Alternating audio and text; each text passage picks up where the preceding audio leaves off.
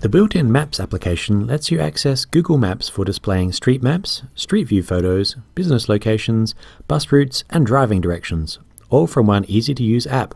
Let's get started. Tap on the Maps icon. The Maps app will load showing you a standard street map. If you have the 3G version of the iPad, which has a GPS built in, you can tap on the arrow button to have the map center on your current location. The blue dot is where the iPad thinks you are, the light blue circle around the dot means in reality you could actually be anywhere inside that circle. The Wi-Fi only iPad doesn't have GPS built in. However, Google has located many of the Wi-Fi access points in many cities. So if you're lucky enough to be connected to one they've mapped, then the arrow will find your location but with limited accuracy.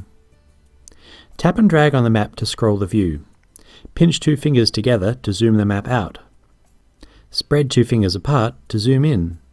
These are all the same gestures you use in Safari and the Photos app to do similar tasks. If you want to view a map not at your current location, you can use the search box in the top right to type in the location. Try use the format street, comma, city, comma, state. You can try just using the street name and most times the Maps app is smart enough to know your current location but adding the city and state makes it much more certain to find the correct location. In the bottom corner of the map are some further options hidden behind what looks like a curled page in a book.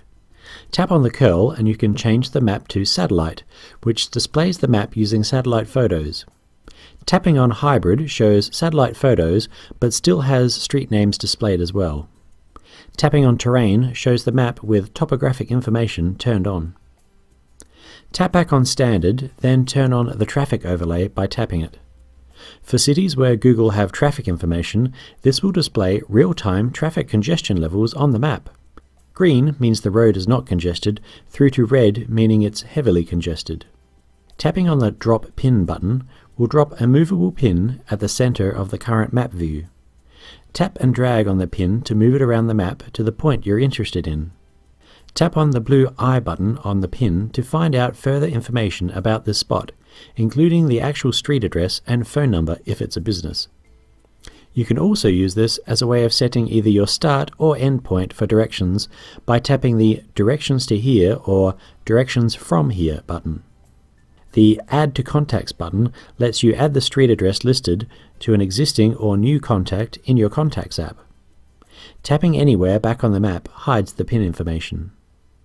Tapping back on the pin, you'll see an orange person button to the left. This indicates that the location the pin has been dropped has Street View available. Tap on the orange button and your view will switch to a 360 degree panorama of the location where the pin is dropped. Tap and drag to scroll the view around. Pinch and spread your fingers to zoom in and out. You can tell which direction you're viewing on the map by the highlighted segment in the small mini-map at the bottom right corner. You can move along streets by tapping on the arrows in the direction you would like to move. When you've finished looking at the street view for this location, tap on the circular mini-map to return to the regular map view. Once you've got the map showing an area you're interested in, you can search for businesses simply by typing keywords in the search box. For example, try typing Chinese to see all the Chinese restaurants in that area. Pins will be dropped at all the locations with Chinese food. You can then tap on the I button on the pin to find out the exact address and phone number for the business. You can do similar searches for pretty much whatever you're looking for pharmacies, bookstores, Indian food, car dealers. The options are endless and it's very handy when you're traveling in a new city and trying to find a supermarket or restaurant to eat at. In addition to finding a location, the Maps app can help you get from point A to B with directions for car, bus, and walking.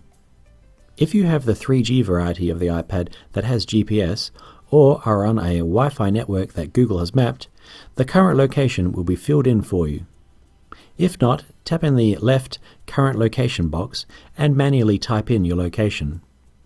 To set your destination, type the address into the destination box to the right and tap on the search button. Once again, try and use the format street, city, state for both current and end locations. The Maps app will now display a summary of the route it recommends you take. You can choose between recommendations for car driving directions, bus routes, or walking directions by tapping on one of the corresponding icons on the blue summary bar.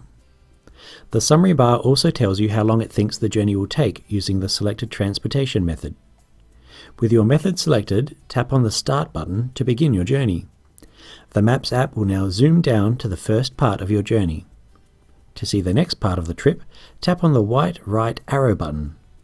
Tap on the left arrow button to move back a step in the journey. The Maps app doesn't have turn-by-turn -turn spoken instructions. If you would like that, you should look into one of the third-party apps, such as TomTom. The third-party apps also have the advantage of not requiring an active internet connection, as their maps are stored locally on the iPad rather than downloading them from the internet on demand like the Maps app does. This does mean that you won't be able to use the Maps app with a Wi-Fi only iPad unless you're connected to a Wi-Fi access point. Similarly, with the 3G variety of the iPad, you'll need to be within 3G cell phone range for the Maps app to be able to work.